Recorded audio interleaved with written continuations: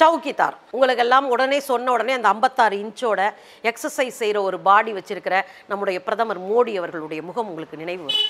அவர்தான் தேர்தல் முடிகிற வரை எல்லோரும் தங்களுடைய ட்விட்டருக்கு முன்னாடியும் பின்னாடியும் சவுக்கிதார் சவுக்கிதார் சவுக்கிதார் சவுக்கிதார் என்று போட்டு வைத்திருந்தார்கள். சவுக்கிதார் என்றால் என்ன அர்த்தம் என்றால் நாங்கள் எல்லாம் பாதுகாவலர்கள். இந்தியாவை பாதுகாப்பதற்காகவே அவதாரம் எடுத்தவர்கள் என்று தன்னைத்தானே பிரைஸ் பண்ணிக்கிட்டாங்க. காப்பாற்றிக்கணும் அப்படின்னு ரொம்ப கொண்டாடி தீர்த்துக்கிட்டாங்க தன்னைத்தானே. சரி இருந்துட்டு போட்டும் பாவம். பொழைச்சிட்டு போட்டும் நம்மளும் விட்டுட்டோம். அதுக்கப்புறம் அப்போ கூட பார்த்தா சுப்பிரமணிய சுவாமி சொன்னார் என்னய்யா சவுக்கிதார் சவுக்கிதார்? நான்லாம் சவுக்கிதார் கிடையாதுயா சவுக்கிதாரை வேலை வாங்குற எஜமான்ட்டார். பார்ப்பனங்க எஜமான் வேலை தான் பார்ப்பாங்க பொதுவாக அவங்க வேலையே செய்யாமல் சாப்பிடணும்னு வாங்க வேலையே செய்யாமல் பெரிய பதவியில் இருக்கணும்னு வாங்க பெரிய அளவில் ரிஸ்க்கே எடுக்காமல் ரஸ்க்கு சாப்பிட்ற கூட்டம் அவர்கள். எனவே இவரை வேலை வாங்குறேன்னு அப்படின்னாரு. இவர் சூத்திரன் தானே நம்மளுடைய பிரைம் மினிஸ்டரும் ஏன்னா அவங்க சொல்கிற பாணியில் சூத்திரம் தானே அவரும். பிற்படுத்தப்பட்டவர் தானே அவரும். எனவே அவரும் இந்த மாதிரியான எல்லலுக்கு ஆளாவது என்பது தவிர்க்க முடியாது தானே? சரி அப்படி ஆளாகிறாரு இப்போ என்ன பிரச்சனை அப்படின்னா இந்தியாவையே பாதுகாப்புக்கு உள்ள வச்சிருக்கிற மிகப்பெரிய பயில்வானாக மிகப்பெரிய ஒரு ஒரு ஒரு பயங்கரமான ஆளாக இருக்கக்கூடிய நம்முடைய மோடி ஐயா போன வாரம் அஸ்ஸாமில் ஒரு நிகழ்வில் பங்கெடுக்கணும்னு போகிறதா குறிச்சிருந்தாங்க. என்ன நிகழ்வு அப்படின்னா தேசிய அளவில் விளையாட்டு போட்டி நடந்தது. தேசிய அளவில் விளையாட்டு போட்டி துவக்கி வைக்கிற வேலை. பிரதமர் மோடி அவர்கள் செய்வதாக திட்டமிடப்பட்டிருந்தது. அப்படி செய்வதாக திட்டமிடப்பட்டிருந்த அந்த நிகழ்வுக்கு மோடி அவர்கள் போக முடியல. ஏயா போக முடியல அப்படின்னா முன்னிலும் தீவிரமாக முன்னிலும் தீவிரமாக அஸ்ஸாம் போராட்டம் இன்றைக்கு மிகப்பெரிய அளவில் வளர்ந்து வந்திருக்கிறது. அங்கே ஊரடங்கு உத்தரவுகள் பல இடங்களில் பிறப்பிக்கப்பட்டிருக்கிறது. அங்கே மக்கள் வெளியே நடமாட முடியவில்லை. வணிக வளாகங்கள்லாம் மூடப்பட்டிருக்கிறது. எங்கு பார்த்தாலும் இணையதளங்கள் துண்டிக்கப்பட்டிருக்கிறது. மக்கள் போராட்டங்களை பொது ஊடகங்கள் ஒளிபரப்பக்கூடாது என்று வாய்மொழி உத்தரவாக மிரட்டப்பட்டிருக்கிறார்கள். அந்த மக்களினுடைய எழுச்சியை எந்த இடத்திலும் சமூக வலைத்தளங்களின் மூலமாகவோ அல்லது ஊடகங்கள் மூலமாக வெளியே சொன்னார் அவர்கள் மீது வழக்கு தொடுப்பது என்று மத்திய அரசு கெடுபடி காட்டி வருகிறது.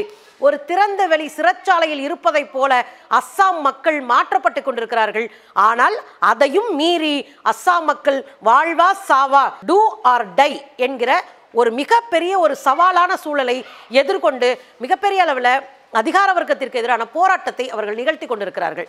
அப்படிப்பட்ட ஒரு சூழல்ல நம்ம பார்க்குறோம் இப்போ அப்படின்னா ஐயா பிரதமர் அவர்கள் அங்கே போகலை. ஏயா போகலை அப்படின்னு சொல்லி நம்ம பார்த்தோம்னா ஏன் போகலை தெரியுமா? அவர் அங்கே போனால் பிரச்சனை பெருசாகும். அங்கே அவர் போனால் அவருக்கே உயிருக்கு த பிரச்சனையான சூழலும் ஏற்படலாம். அல்லது அவர் போய் கலந்துக்கிற அங்கே மிகப்பெரிய அளவில் கடுமையான எதிர்ப்பை சந்திக்கலாம். அப்படி சந்தித்தா என்ன? சந்தித்தால் உலக அரங்கு திரும்ப வேடிக்கை பார்க்கும். என்ன மாதிரி பார்க்கும்? சொந்த நாட்டு மக்களாலே ஒரு பிரதமர் புறக்கணிக்கப்படுவதும் சொந்த நாட்டு மக்களால் ஒரு பிரதமர் எதிர்க்கப்படுவதும் சொந்த நாட்டு மக்கள் எதிராக ஒரு பிரதமரை கோபேக் மோடி என்று சொல்வதும் மிகப்பெரிய அவமானம். இது யதார்த்தமான அவமானம். அப்போ இந்த அவமானத்தை மற்ற ஊடகங்கள் உலகளாவிய ஊடகங்களில் கொண்டு போய் சேர்த்துட்டாங்கன்னு வச்சுக்கோங்க. ஏன்னா ஒரு ஸ்போர்ட்ஸ் அப்படின் போது உலகத்தில் இருக்கிற எல்லா டிவியும் அதை க எடுப்பாங்க. அப்படி இருக்கும்போது அப்படிப்பட்ட ஸ்போர்ட்ஸு இதில் வந்து உரையாற்றி திறந்து வைக்கிறதுக்கு வந்திருக்கிறாரு அப்படின்னு சொன்னால் அப்போ உரையாற்ற வந்திருக்கிற மோடி அவர்களுக்கு கடுமையான எதிர்ப்பு இருக்குது அப்படின்னு தெரிஞ்சால் என்ன நடக்கும்? ஊடகங்கள் எல்லாம் அதை வந்து பிரபகண்டா பண்ணுவாங்க வெளியே கொண்டு போவாங்க. ஏன் எதுக்குன்னு விவாதிப்பாங்க. உலக அரங்கில் ஐநா வரைக்கும் இந்த விஷயங்கள் போய் சேர்வதற்கான வாய்ப்பு இருக்கு என்பதற்காக இந்த பிரச்சனைகளை தவிர்க்க வேண்டும் என்பதற்காக மோடி அவர்கள் அசாமுக்கு போறதை ரத்து செய்திருக்கிறார்கள். சரி முடிவுரைக்காவது போவாரானா? அதைக்கும் வேற என்ன பண்ணியிருக்காருன்னா இங்கே பாராளுமன்ற கூட்ட போறோம். எனவே ரெண்டாம் தேதிக்கு மேல என்னால் போக முடியாதுன்னு பார்லிமெண்ட்டை சாக்கா வச்சுட்டு அஸ்ஸாமுக்கு போற தன்னுடைய பயண திட்டத்தை ரத்து செய்திருக்கிறார் மோடி அவர்கள். அப்ப இதுல இருந்து என்ன தெரியுது அப்படின்னா மக்கள் மக்கள் எழுச்சியை பார்த்து மோடி அவர்கள் பயந்து போயிருக்கிறாரு.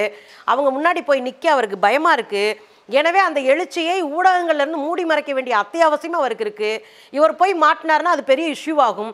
எனவே அதை மூடி மறைப்பதற்காக அங்கே போவதை அவர் ரத்து செய்திருக்கிறார். அப்படி என்றால் மக்கள் எழுச்சியும் மக்கள் போராட்டமும் மக்களுடைய விடாப்பிடியான நம்பிக்கையான தீர்க்கமான மண் விடுதலைக்கான போராட்டங்களும் தொடர்ந்து ஆளுகிறவர்களை அச்சுறுத்துவதாக இருப்பதை நாம் நேரடியாக பார்க்கிறோம்.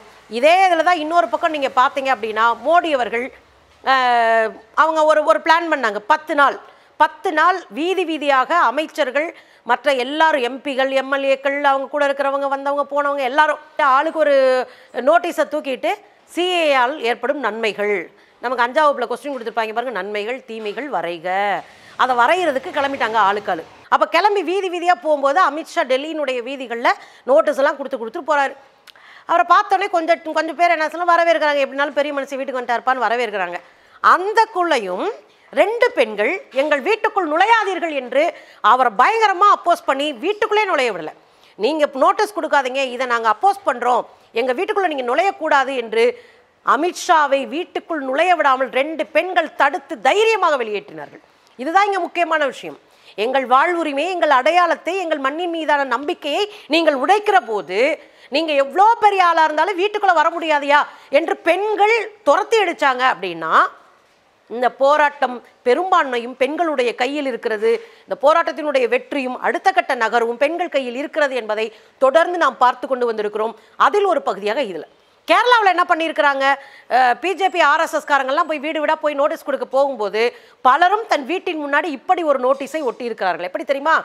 இங்கே ஆர்எஸ்எஸ் பிஜேபிக்காரர்கள் சிஏஏ நல்லது என்று பிரச்சாரம் பண்ண வர வேண்டாம்.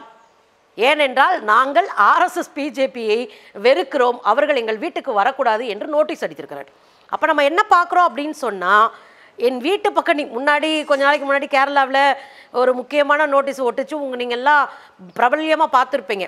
பாரதிய ஜனதா பார்ட்டியை வந்து பாரதிய ஜொல்லு பார்ட்டின்லாம் ஒட்டுன இதெல்லாம் பார்த்தோம். எங்கள் வீட்டு பக்கம் பெண்கள் இருக்கிறார்கள் தயவு செய்து எங்கள் வீட்டிலே பெண்கள் இருக்கிறார்கள் தயவு செய்து பிஜேபி ஆட்கள் இந்த பக்கம் வர வேண்டாம் என்கிற போஸ்டர்ஸும் ஒட்டப்பட்டது. உங்களுக்கு நல்லா தெரியும் ஞாபகம் இருக்கும்னு நான் நினைக்கிறேன்.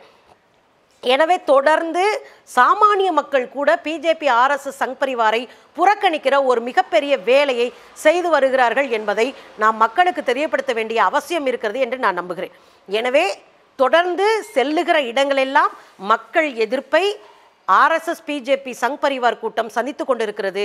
தொடர்ந்து மக்களும் வலிமையோடு வாழ்வா சாவா என்கிற முடிவோடு எதிர்த்து வருகிறார்கள். இந்த போராட்டம் மக்கள் மத்தியிலே பிஜேபியினுடைய செல்வாக்கை அடிமட்டத்திற்கு கொண்டு போகிறது மட்டும் இல்லாமல் பிஜேபிக்காரர்களுடைய ஆதிக்கத்திமிருக்கு மணியடித்து முடிவு கட்டுவோம் என்கிற ஒரு சூழலையும் உருவாக்கி இருக்கிறது என்று நாம் பார்க்கிறோம். எனவே போகிற இடங்கள் எல்லாம் புறக்கணிக்கப்படுவதும் துரத்தி அடிக்கப்படுவதும் இன்றைக்கு பிஜேபிக்காரர்கள் சர்வசாதாரணமாக சந்திக்கிற ஒரு பிரச்சனையாக மாறியிருக்கிறது.